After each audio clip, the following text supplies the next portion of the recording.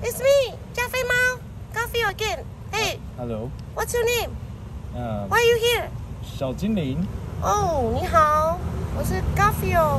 你好。今天小精灵，哎，前面怎么有一个石头啊？这是要干嘛、小精灵？哦，这是我们篆刻用的石头。哦，What's 篆刻？嗯，篆刻就是在石头上刻上我们想要的文字。哇哦，好酷啊！所以小精灵，我听说你今年才二十出头而已呢。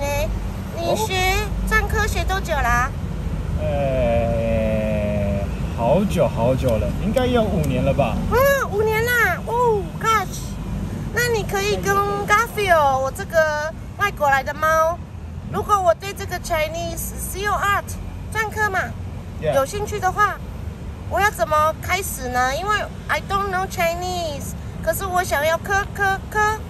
哦，那其实我们只要把自己想要的文字，不管是中文或英文，我们都可以把它刻在石头上啊。哦、r e a l l y Wow, that's cool. 所以你会建议一个外国人不会写 Chinese，我应该是可以先刻图案，对吧？当然没问题啊，哦像你也可以刻你自己的形状，加菲猫，哦，刻我的样子也都可以。哇哦，那小精灵，你可以说一下你为什么会开始接触篆刻呢？嗯，其实它是从一堂课开始，不过后来我觉得石头它很漂亮，尤其我们当打磨完的石头，它可以变得非常非常漂亮的光泽，所以爱上了这个石头，也爱上了刻印章的感觉。哦，是这样子的吗？那我我们来看一下打磨过的石头。哦耶！对，差不多就像这样子，这么亮啊！它会变得很漂亮哦。哇哦，所以原本是这样的石头，打磨过后就会变得非常非常漂亮。哇哦，That's awesome。Yeah。所以，我问一下啊，篆刻我要学篆刻要花很多钱吗？哎，其实不用哦，我们身边有的小石头都可以拿来刻，哦，那是一般路边什么捡到的石头都可以刻啊？也不是。我们可以去一般的书画专用店，里面他们有卖可以刻的篆刻石头，然后配上刀，那其实我们就可以刻出自己想要的东西了。所以，my mother's kitchen's knife, I can do seal art. Yeah, you can try. Oh, really? Yes. 哇哦，那.不用不用什么特别的工具啊，就只要哦，其刀实我们篆刻 常用的是平口刀，哦，苹果刀啊，不是斧不是什么菜西瓜刀、菜刀啊。不是西瓜刀，也不是斧头哟。哦，那比如说你会给我一个外国人初学者的建议，我大概比如说要买基本的篆刻要用的东西有什么东西呢？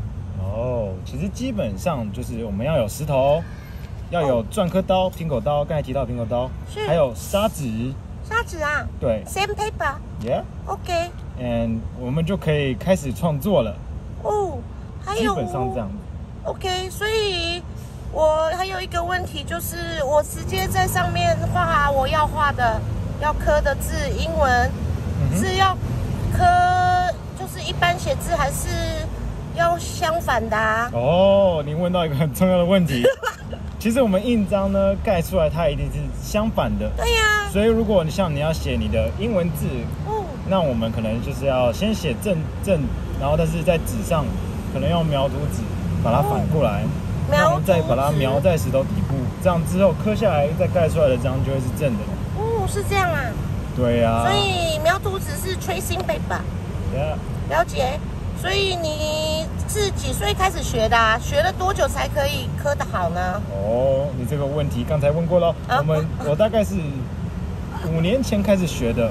哦，不过印章这个东西就是慢慢刻，慢慢摸熟，那你就会越来越表现出自己想要的样子啦。好啊，那小精灵，如果我现在我才来台北一两天，我可以跟着你学篆刻吗当然可以？OK，Let's、，Let's go。